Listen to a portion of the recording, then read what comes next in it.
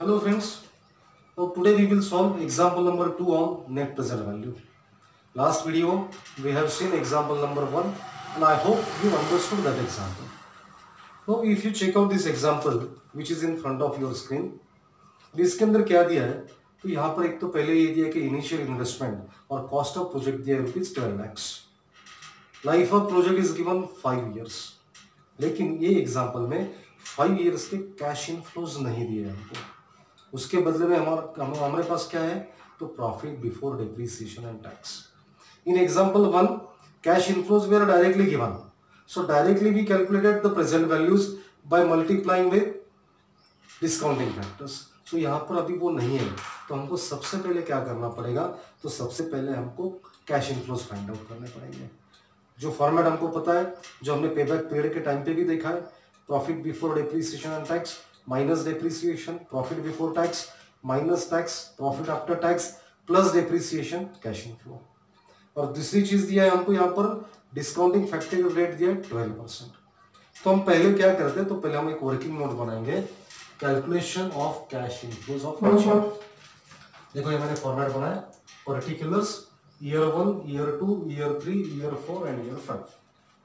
सबसे पहले profit before depreciation and tax each year it is given year one three lakhs year two three lakhs year three four lakh fifty thousand year four four lakhs fifty thousand and year five seven lakhs fifty thousand so ये amount हमको example में दिया। है तो with this we want to complete the cash inflow we have to find out the cash inflow इसमें tax rate दिया हुआ है फिफ्टी परसेंट तो हम पहले क्या करते पहले हम ईयर वन का कंप्लीट करके मैं आपको दिखाता हूँ। So profit before depreciation and tax less depreciation check out whether the amount of depreciation is given no it is not given but we can calculate that also we have seen at the time of payback period the simple formula is cost of asset or project minus scrap value divided by useful life so यहाँ पर cost of asset दिया है हमारे पास 12 lakhs scrap value कुछ नहीं दिया है zero life of the project is 5 years so yearly depreciation is rupees 2 lakhs 40,000 so this is the amount of depreciation 2 lakhs 40,000 so each year depreciation will be 2 lakhs 40,000 so check out 3 lakhs profit before depreciation tax minus depreciation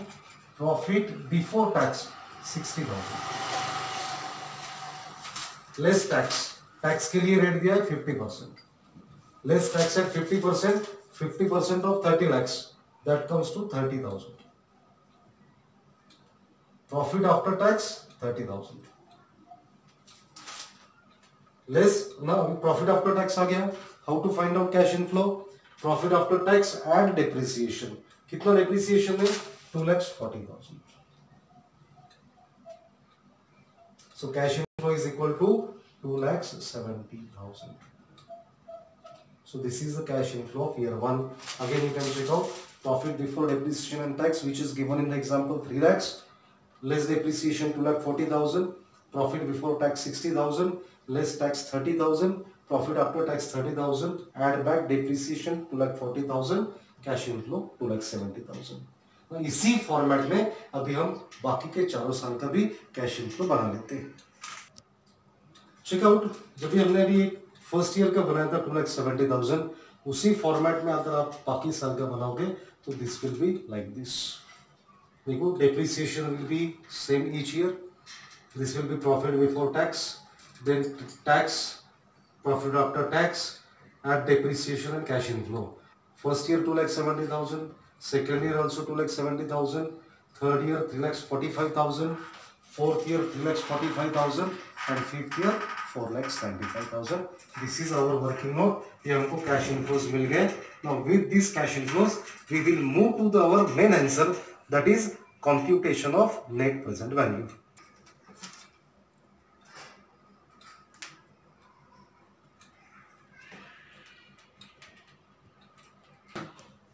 So check out computation of net present value. Our regular four columns year cash inflows discounting factors at 12% and present value.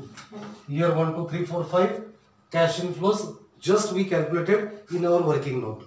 Year 1 2 lakh 70000 year 2 2 lakh 70000 year 3 3 lakh 45000 year 4 3 lakh 45000 and year 5 4 lakhs 95000 now discounting factors at 12% which is given to us directly in the example 0.893 0.797 0.725 0.647 and 0.578 अभी हमको करना क्या है that is the present values that means cash inflows multiplied by discounting factors so that is nothing but column number 2 multiplied by column number 3 so first one 2 lakh 70000 multiplied by 0.893 that is equal to 2 lakhs 41110 number 2 year 2 2 lakh 70000 into 0.797 that is equal to 2 lakhs 15190 अब calculator पे check करो सब calculations year three cash inflow three lakhs forty five thousand into 0.725 that is equal to 2 lakhs 50,125. Year 4 cash inflow 3 lakhs 45,000 into 0.647 that comes to 2 lakhs 23,215. Now year 5 4 lakhs 95,000 into 0.578 that is equal to 2 lakhs 86,110 so that is a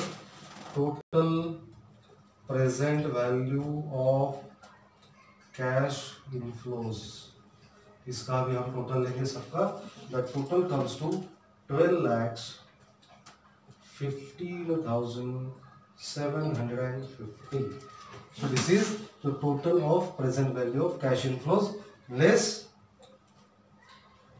initial investment.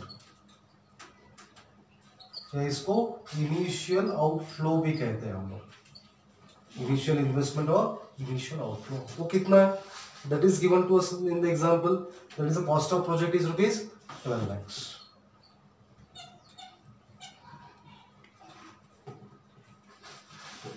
NPV is equal to net present value is equal to total present value of cash inflows minus cash outflows 15 lakhs 12 sorry 12 lakhs 15750 minus 12 lakhs net present value is equal to 15750 which is positive देखो example में भी positive NP है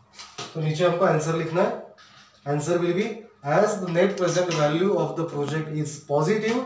company should accept the project ये हमको ये decision लेना है कि कंपनी ने ये प्रोजेक्ट में इन्वेस्टमेंट करना है या नहीं करना है। As a net present value is positive we should accept the project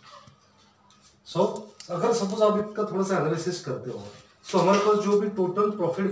before depreciation tax दिए थे उसका टोटल अगर आप लोगे so that will be somewhere 22 lakh something आ रहा है। लेकिन उसका एक्चुअल प्रेजेंट वैल्यू कितना आता है?